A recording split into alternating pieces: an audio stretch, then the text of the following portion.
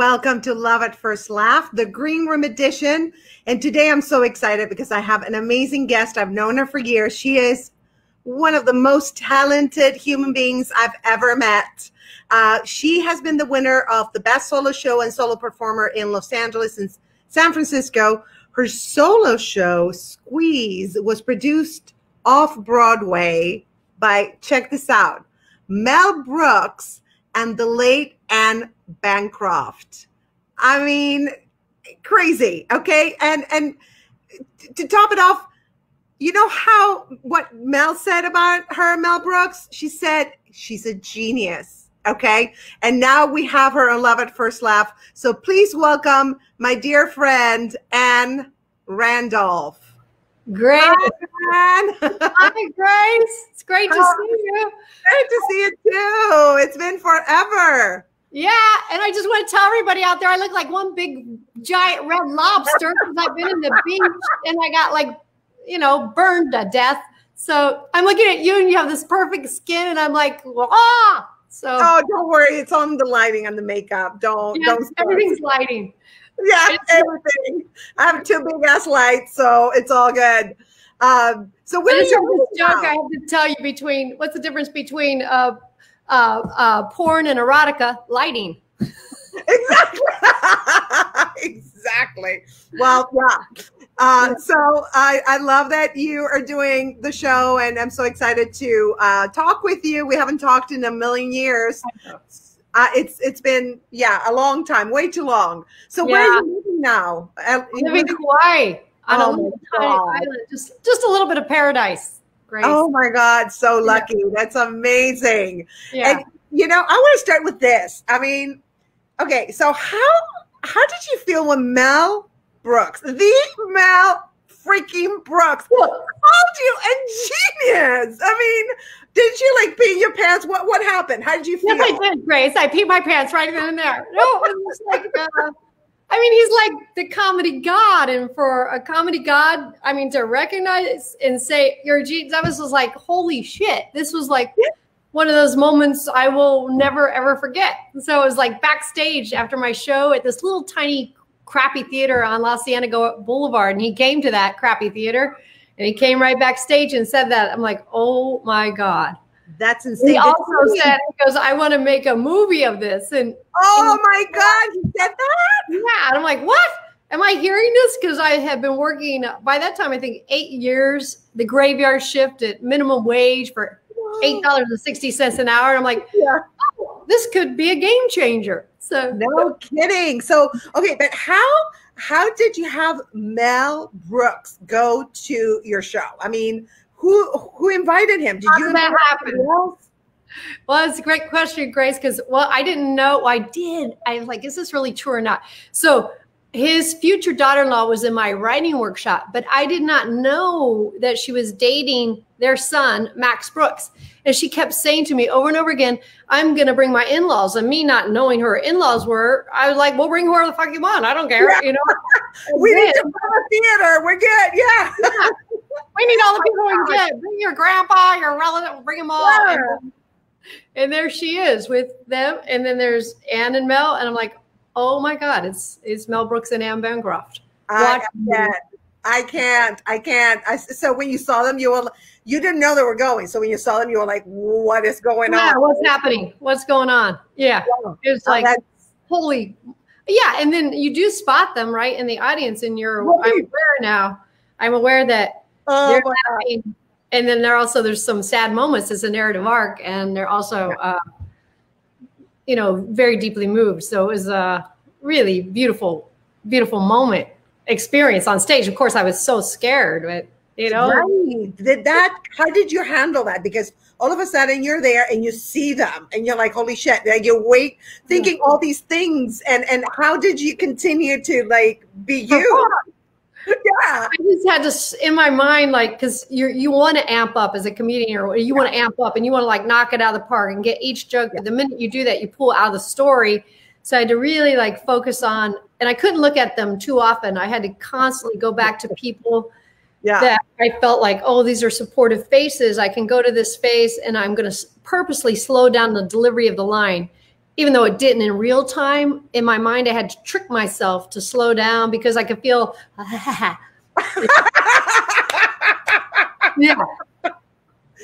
Oh, that's so funny. Yeah. No, I mean, I don't even know how you continued. I would have passed out. Yeah.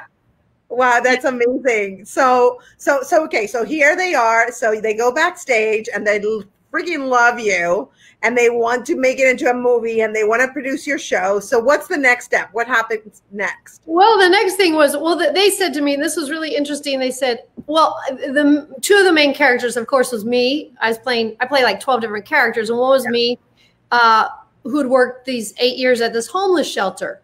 And so, and, but another character in the show was this crack whore who named Brandy and she's out of control and she's aging crack whore. So she's not getting a lot of tricks. And, uh, and Anne Bancroft came up to me and said, "And I'd like to play that character, this crack whore." I'm like, "Oh my god, this is like, this like, is like, wow." Did you think you were dreaming and like you were like, yeah. "What's happening?" Yeah. Right?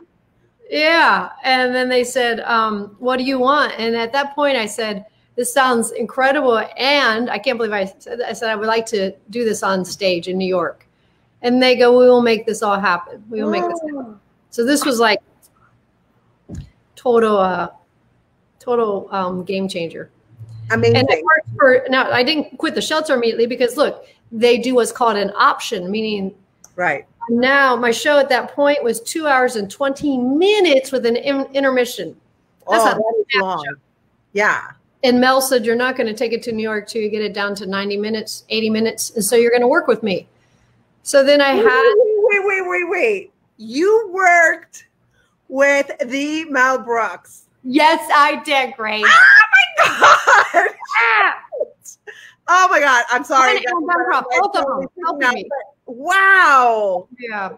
To oh shape that show, it was really challenging because if you're even art, you know, you're in love with your babies, and it had one best solo show in in Los Angeles at this point. I'm like, well, Mel, it won an award. He's like, no, it's way too long, and. Yeah you know, I can't believe I'm like, you know, questioning the genius, right? But I, you know, yeah, he was so right. They both were so right. I had to get it down to 90 minutes, but they were incredibly patient. So like maybe this was was was really challenging. So I'm at the shelter, and then like Mel Brooks would now call the shelter. How's it going? What's how? What's the progress? wait, wait, wait. He called the shelter for you. Oh, I can't. Yeah, yeah. That's wow, it's blowing my mind. Okay, so that's that's amazing. So you guys work on like getting it to 90 minutes. You got it to 90 minutes, and then what happened?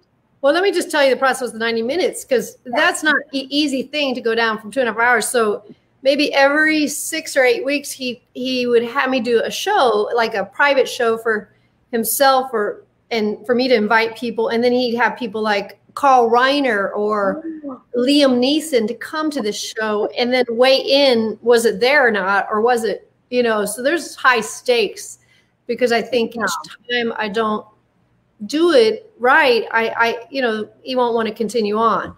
Right so that fear was intense during that time I wanted to take drugs and anti anxiety no uh, take drugs do drugs uh, it was challenging time. So every six weeks, every eight weeks, six, I would be massaging it, putting it up, and it wouldn't be ready yet. And I think I got it. And then finally, he, he thought it was ready, and he goes, "I need for you to play it in Minneapolis. I mean, not Minneapolis. Some Midwest audience and my friends told me about a little theater in Minneapolis. So I went up to this theater and performed there." on Mel and Anne are coming to make a decision whether it's ready for New York or not based on Midwest audience now because they want to see that it's going to play to everybody, every you know type of person. And I was quite nervous. And I get up there in the in the theater is literally attached to a bowling alley. It's like the worst possible place to do a show that's a narrative arc. It's a show that's more for comedians, improvisers, and my show had a lot of laughs, but also a lot of emotion to it. So in the most intimate moment of my show, I would hear strike. You know, I'm like, oh my God. You know, they're gonna come here and this audience who's kind of Yahoo audience is not right for this show. They're not theater people. And so I really was quite nervous when they arrived. So I did something before they arrived to uh, I did something not right, Grace. You want to hear what I did? Oh, well, of course you did something not right. I love it because you're like, I went to the Guthrie Theater, which was down the road, and uh, which was a very reputable theater. And they were showing a comedy by Sheridan, and I didn't watch the the theater piece. I watched the audience. And at intermission, I go up to people and I'd say, you know, Mel and Anne are coming to that shitty old bowling alley theater in one week. I swear to God, will you be my ringer? Will you be my ringer? Will you be my ringer? I literally handpicked from watching people who had good laughs. I watched who was laughing. I love and it. So that night when Mel and Anne arrived, that audience was handpicked, just the best it. ringers possible.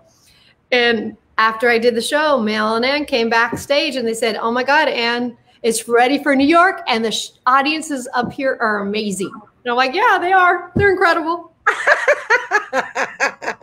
Trickster. By the way, anyone who's listening and just tuned in, this is Ann Randolph. She's a genius. And Mel Brooks said she's a genius. I say she's a genius too. I agree with Mel. And her, uh, Mel Brooks, the Mel Brooks, and the late Anne Bancroft produced her off Broadway show. So she's telling us the story. I'm just tuning in. yeah. Because when you say Mel, I, I, just want people to know it's not just Mel Brooks, yeah. it's Mel Brooks. Okay. So go ahead, continue. okay, continue. And then after that, they said, How about we go out and celebrate? Because we're going to New York. So we went to a fancy restaurant in Minneapolis. My director was with me, Alan Bailey.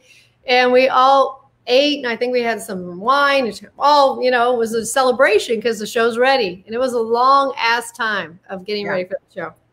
So That's amazing. Now the next step was finding a theater in New York. I mean, there were many, many steps then to getting to finally open that show in New York. Oh. So what were the steps? How did that happen? Well, the first thing I'm kind of like left in New York to find a theater, like go find a theater and that you think would be right for your show. And this is interesting about New York. I a lot of artists out there to find the theater for a solo show in New York, very challenging because all the theaters are very long and narrow. And I find for solo show, you want this width where it's kind of more like a community. And I was like, ah. And right. the other thing, shows are backed up, meaning everybody's trying to get theaters in New York for off Broadway. Very hard to find one that is available at the time that you want one. I did not know that either. So eventually found a theater and now Mel is financing this along with another producer, Rob Bob Silverman, who produced a lot of Mel's stuff in New York. And um, so the show was to open. I think it was yeah, it was show was going to open in May. So excited! I quit the shelter. This was now after 10 years of working there. Said goodbye to everybody. I'm literally going from this minimum wage to New York, and show's going to open in May. And I'm back home in Ohio with my family, getting ready for this big uh, thing this big dream of my whole entire life. Yeah. And I get a call from Mel Brooks saying, Ann, I'm so sorry. We have to postpone the opening till August. Anne has been diagnosed with cancer. You can't tell anybody. Um, we're going to put you in the hands of another producer who's going to handle the day to day things to make it run because I need to focus on Anne during this time. And I totally understood. And wow. I got off the phone and, I, and he, he, assured me that was Anne was going to be okay. And I was like, thank God, because, you know, she's my, yeah. my mentor, right? I mean, this is somebody I've grown to love and two years, you know, helping with the show. So of course, it was now postponed to August uh, that we're going to open. But as the weeks go on and like a month goes on, I hear very little from this producer and I want to pick up the phone and call Mel and say, "Hey, this guy's not doing it. We can't go to a New York show and open eight shows a week without a machine behind us." Right. But I can't do it because I've now found out that Anne is dying. Ah. So it was this horrible. So I'm getting the dream at the same time. This this other thing's happening at the same time. Grace that is mm. devastating. It's just like, oh, the heartbreak of you know I'm coming towards an opening and I know there are a lot of artists out there, and the machine is not behind you to support you. Mm-hmm. So I was like, okay, Ann. And so I literally was like, I had this belief that if I got this incredible review in the New York Times on opening night, even though there wasn't a marketing machine be, behind me, that review would turn everything around. Right. So opening night came in New York in August, and it's also during the Republican convention, right? Worst Oh, if you're out there, it's the worst time to open a show. Everybody knows everybody goes to Long Island in August, worst possible time. And it's during the Republican convention. George Bush is up for reelection. Oh my. God. And so New York is kind of cleared out. Yeah. Yeah. Yeah. Yeah. Right. Yeah. I am uh, doing my opening night. My friends, family have all flown in from Ohio, and Anne and Mel are there. And I remember Anne; she had a wig now from the treatments. It was just like this mix of this. I'm doing it, and this also heartbreak at the same time. yeah. It was so hard, and and also to know that there was not a lot of seats sold. I mean, I was not getting good houses because I had to have pre-advanced sales, right? But you can't Right. pre-advanced sales if not anybody really knows about you. Right. And, and I want to say to anybody, this was not Mel and Anne's. This was the, another producer who did not pick up the ball, and it was my fault because I didn't pick up the phone and say something. I just felt like one of those people, uh, inflatable things in front of a used car lot. Grace, you know, where it's like right. fight, flight, or freeze. I just froze. Yeah. Yeah. Yeah. Yeah. Such a whirlwind time of fear, and so show opens, and uh, next day I run to the New York Times and I get this amazing review in the New York Times. It's great. I think it's, going to turn turn this audience around, but it it doesn't turn it around. And Mel sees what's happening now. And he picks up the ball and he starts taking out like a quarter page ad in the New York Times for $20,000 saying with the pull quotes from the New York Times to turn the ship around. You know, he's like, get, you know, and he's going on uh, New York One and different things doing interviews because Anne and I were supposed to do interviews. Anne can't do interviews now, right? Mm. So these, so all these things are happening, and then, but we couldn't fill those seats for week on out, week on out, week on out. So show ran like uh, three weeks with incredible reviews, and it closed. Oh wow. Devastating. Oh my God, talk about grief. This Yeah. is my fifth solo show I had written, and I thought, well, I'll never have this chance again.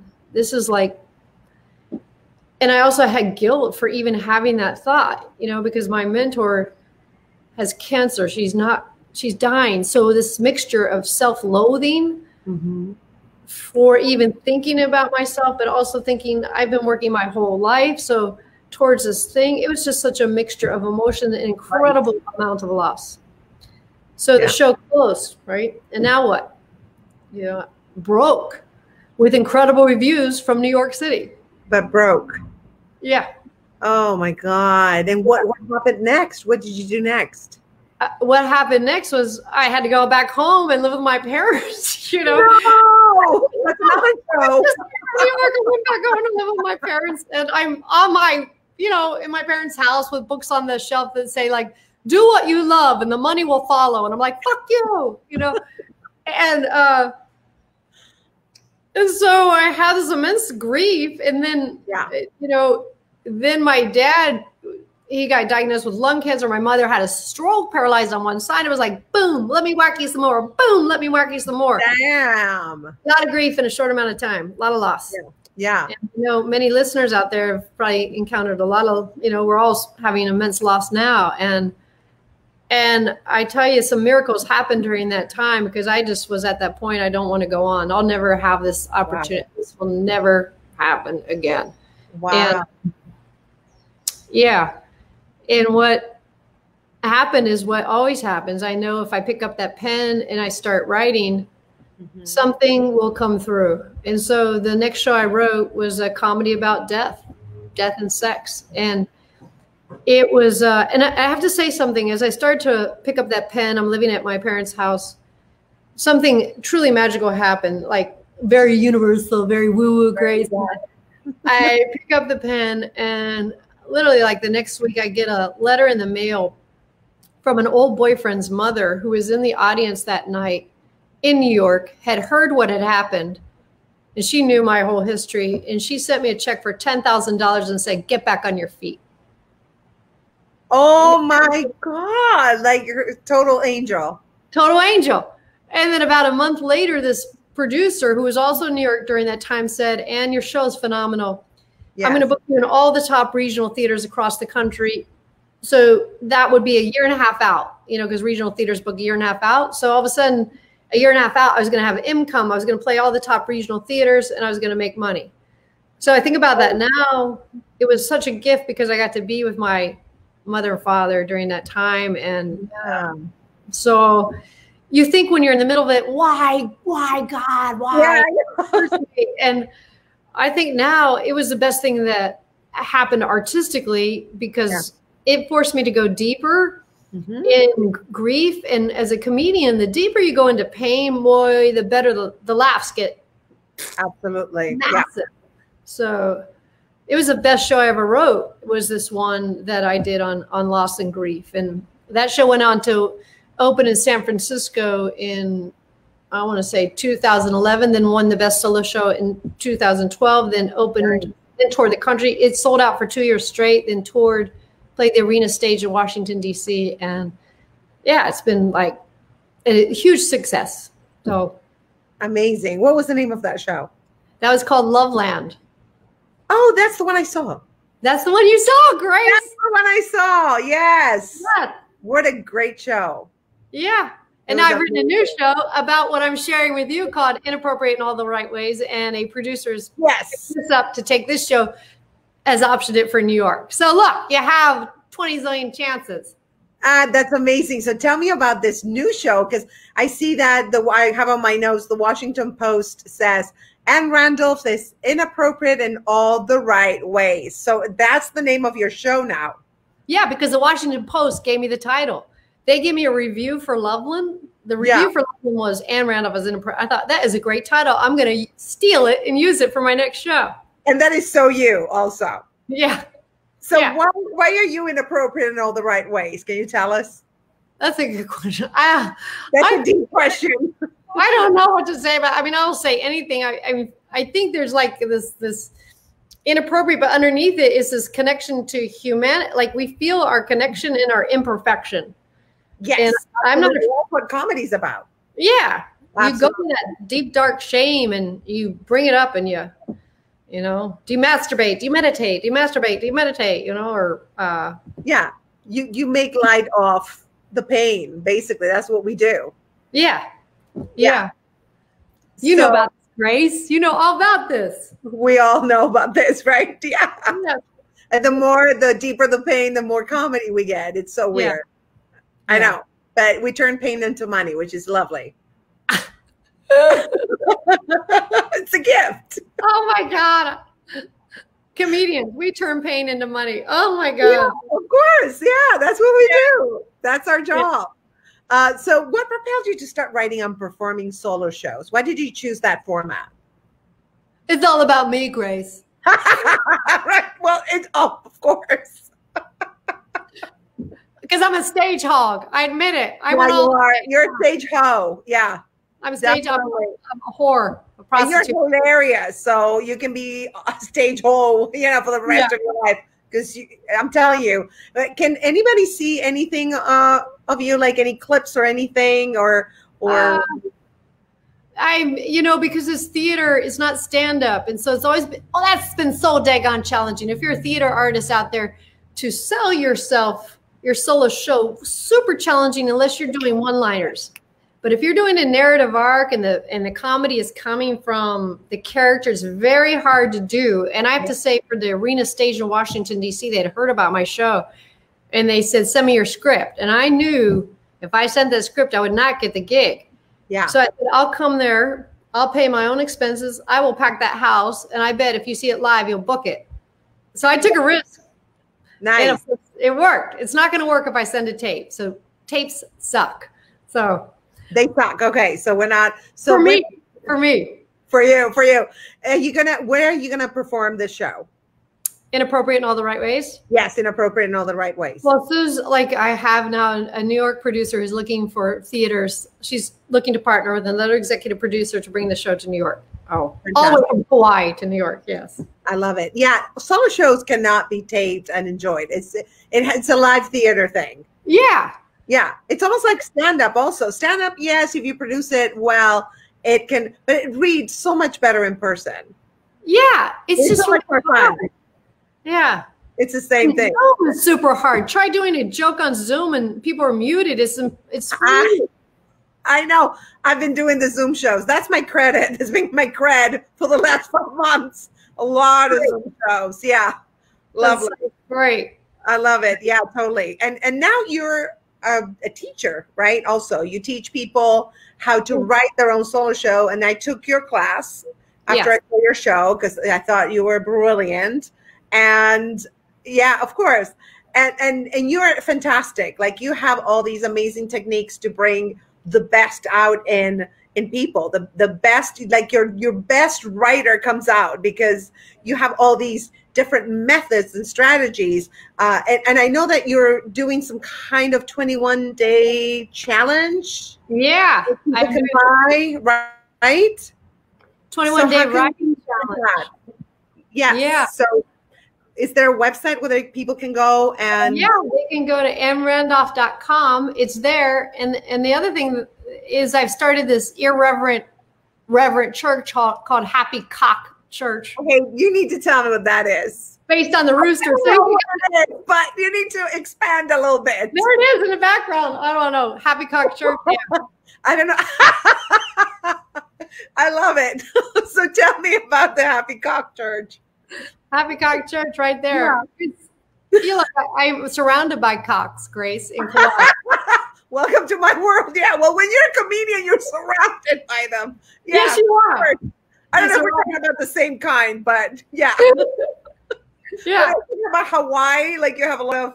Yeah. The, the Oh, okay. Yeah, there's a hurricane came uh, in 19, I think 92, and, and it blew all the rooster coops away. So they all just run wild.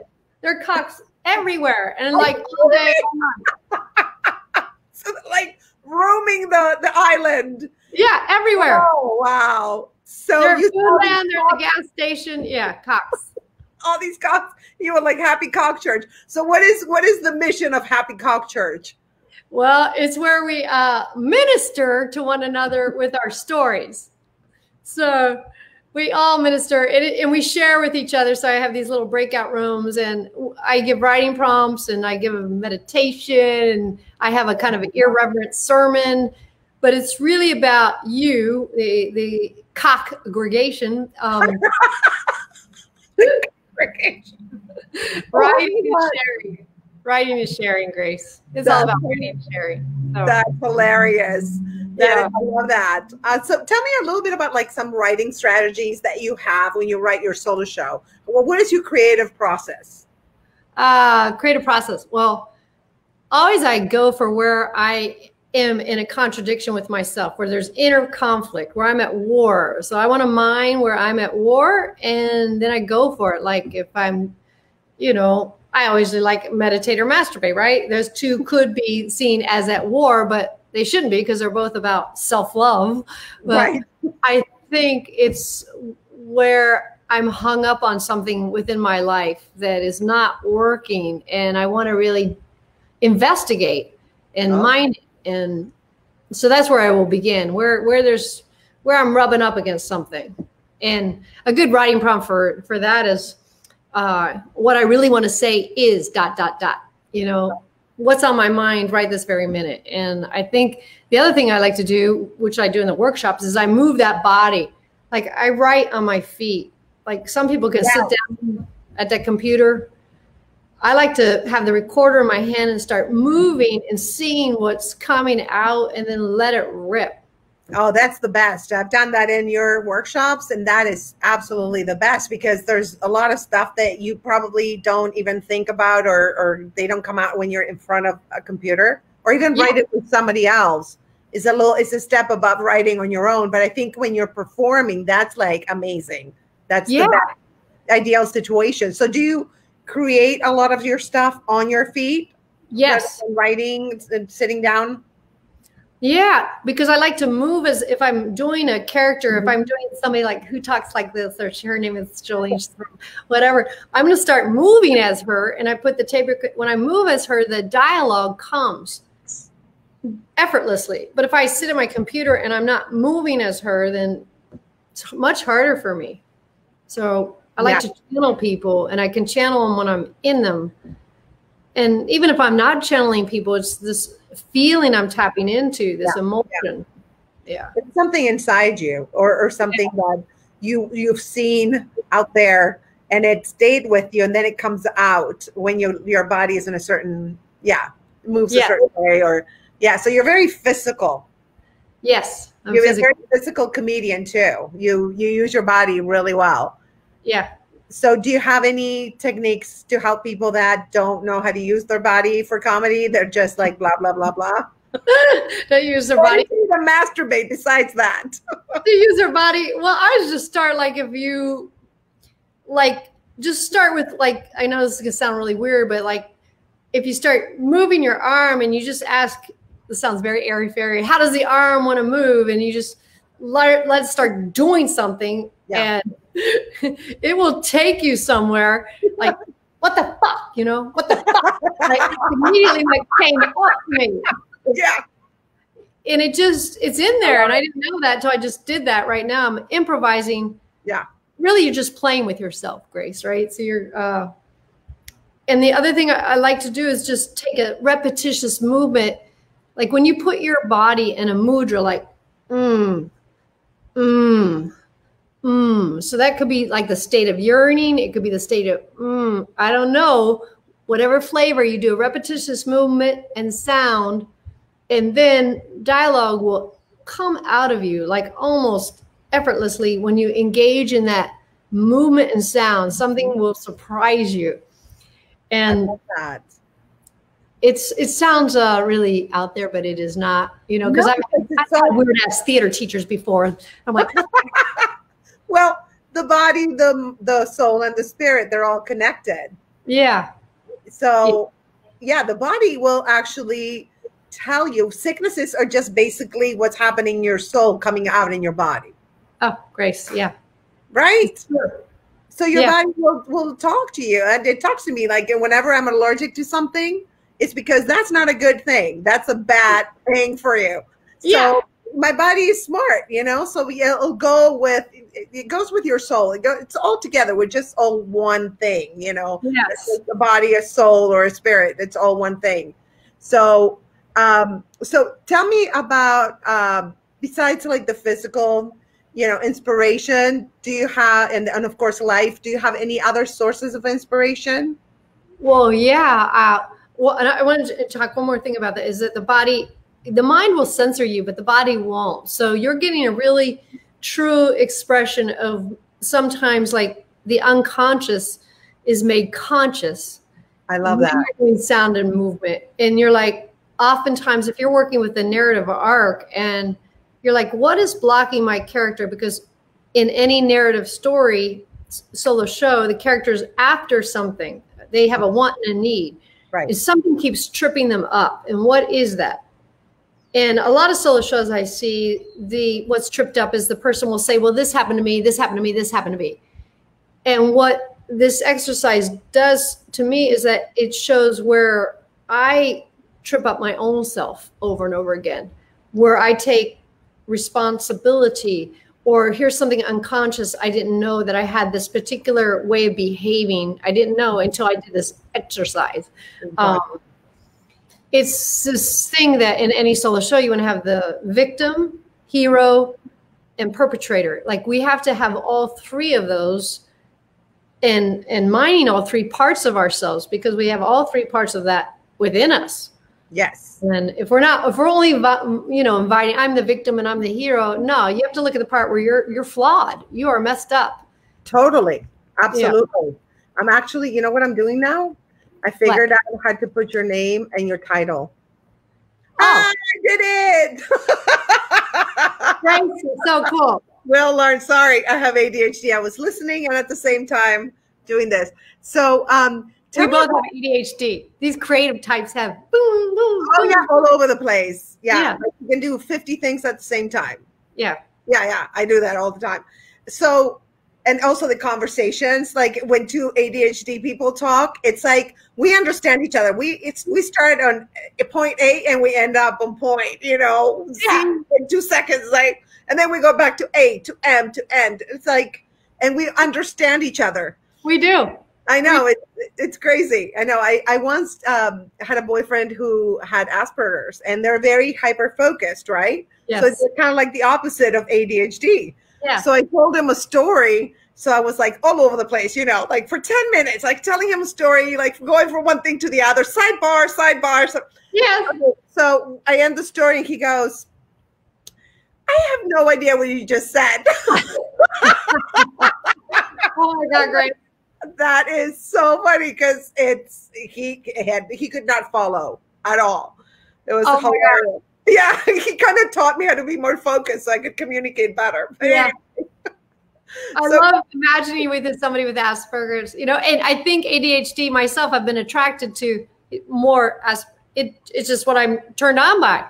Same here. I love like really, really smart, focused, You me too. think outside the box, and definitely Asperger's matches that. Yeah, uh, yeah. We're still Yeah. friends with this guy, so he's not my boyfriend anymore, but we're still friends. Yeah, because he's he's great. I admire him tremendously. So Yeah. I, So tell me, um, you know how we all prepare for shows, right? Like I, we all have our own rituals. Do you have any particular rituals before you go up on the stage? yeah, the bathroom, Grace. no, you gotta make sure that the hole it's empty. I know the bladder is empty. I know God, definitely. But besides that, do you have like any weird spiritual or like physical rituals Yeah. that you do? What do you do? I definitely do a vocal exercise. I don't know if that's ritual, but and I also do squats right before going on stage Squats? Why? to get that lower body engaged. Like That I so that, funny. And I want to feel grounded. So I'll do these breathing and I'll definitely squat and get that lower body there. And then I really slow down my breath. Like, like I try to not amp myself up. I used to in the olden days try to amp myself up. Now I just get to this place of can I be completely present? And that's from relaxation, slowing down. Yeah. No, umping yourself up is just gives it takes you to a place of like weirdness, Yeah. right? When you're like so yeah, I think grounding yourself is very important before you go up on the stage for Yeah. sure. Yeah, and just the breath is good because it grounds you and it, it calms your mind also, right? Yes. Yeah. So Yeah. that's good. I love that. Um so tell me what was the your favorite show that you've ever written? Loveland for sure. The one about that happened after New York. Yeah, that piece it it ripped. I think I you know in New York I was still wearing a mask. Some in my you know in some sense I you know it was that Rumi quote: "Tear off your mask, your face is glorious." I think grief friggin' ripped my mask off, Right. and I didn't. I thought I wasn't hiding in the last show, but that this one really like I felt like I got stripped another layer for sure. Wow. And because of that, I felt tremendous liberation. The minute you pull off another it. layer of your mask, you feel more liberated for sure. Do you Oh. find that the more you liberate yourself, which comedy does that, you know, art in general does that, right? Like it takes, it, it's almost like it's hard to communicate with regular people who are not artists. Sometimes for me it is. I have to like control my mouth Yeah. or I say something. I'm like, oh shit, I shouldn't have said that. Back Yeah. it up. Yeah, I take it back. I take it back. I did not say that. Yeah. Uh, yeah, you do that a lot, right? yes. Yes. Yeah. This is like too late. It just came out of my mouth and it does not sound good. And it's just so it's almost like we're we're pure spirits. We're like I think artists when they're real artists and and they're real um and and they're um honest and about Yeah. who they are. Yeah. I think it's like pure spirits, you know, Yeah. pure hearts. It's like shit comes out and you're like I know I shouldn't say that, but that's the truth and that's you know what I see. And yeah. So And it's thank it's God. Grace. Thank God you do that. You know? Isn't yeah, no, it's like, but I, now I warn people. It's like you want to hear the truth. You know, my mom used to call me. It's like Graciela, I'm calling you because I need to hear the truth. so go ahead and tell me and tell me. I know, I know I'm not gonna like it, but go ahead. Oh, Grace. I love that. I love hearing your mother's voice because I remember we used to work on that. And not I mean, working at first, but hearing your story. Now it's all coming back. I Yeah. know, I know. My mom, yeah, with her accent. Oh my gosh, Yeah. she was hysterical. She didn't mean to be funny, but she was a character for sure. Um, so um, I want to ask you Okay, what is your favorite curse word and why? Oh my god, favorite curse word. I think I say well, right now it's cock. I love cock, but I don't think that's a curse word. I just like cock. you like the word? Yeah, I remember that. K. It's the comedy K. It's got, you know, it's just so good.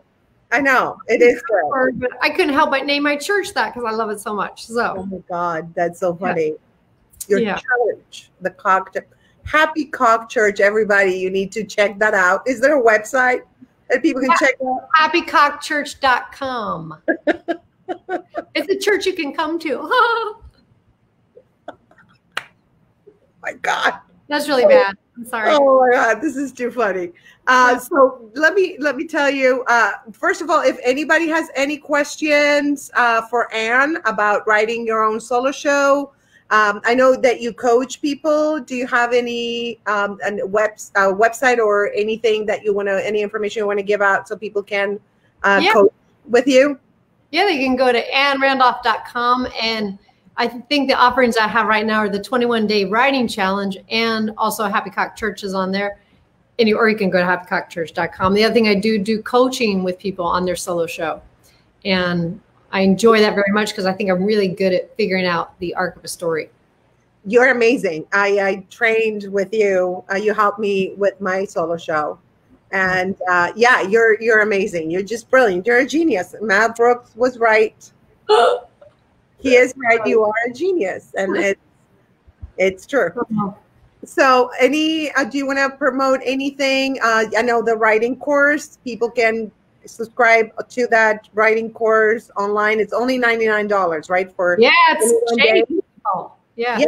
So tell me, tell us a little bit what does that entail and well, I'm always interested in tapping the thing that you know that is unseen. And I this could sound woo-woo, but I play the harmonium, which is this instrument, and it seems to almost put somebody in kind of like a trance state, right? And then once somebody's in that kind of really relaxed state, I throw out the writing prompt and then we write together online for like 35 minutes. And then that's a, or 40 minutes, a chunk of time for you to really commit to like, you know, putting the writing down. And there's something about being a community, like, like as we're in community right now, you can feel this aliveness. And I think for me, mm-hmm. I need it to write in. I do very well in community. Yeah. Even though it's online, it's much better than me being alone. Like I know other people are concentrating their energy in that moment to create, and I like that. Oh, so that's what's happening online. That starts on the 26th, and then Happy Cock Church you can come to anytime, every weekend. It's it's there, and you can come for free. You can pay a donation. It's it's church. The church doors are open. Free cock. Free cock. There that's we go. Free cock. Free cock. Uh, so your social media then you have Ann Randolph on Facebook. Do you have an IG? Handle? I have an IG. Ann Randolph. I think it's. I don't know what that is. Oh, that's terrible. I know it's an Ann Randolph something. So. okay, Twitter. Same and thing. I just started not Twitter. I just started a Happy Cock Church account on Instagram. I think I, I, like a week ago, so I don't have hardly any viewers, but or people. But you can be my people. So I'll be your people. you can be my people. Yeah. All right. Thank you so much, Ann. Uh, I love you. You're amazing. It was so great to catch up with you. Yeah, great. Yeah. So great awesome. to see and hear. What a beautiful thing you're giving to comedians and artists. Oh my God. Thank you. Thank you. Yeah. Well, we have to support each other, right? Yeah. Absolutely. So anybody who wants to take that 21 day writing class with Ann, go to her website and subscribe. It's only $99 and she is amazing. She's the best writing coach you'll find in uh, in the country, on the planet. On the planet. On the planet. Yeah. On the planet. Yeah. In the world, in the universe. Oh, hello. I, I believe it. you know it. All right, so great. thank you so much, girl. And uh, thank you everybody for tuning in. And I will see you next Sunday at 7 p.m. Pacific Standard Time Bye, everyone. Bye, Ann. Bye. Thank you.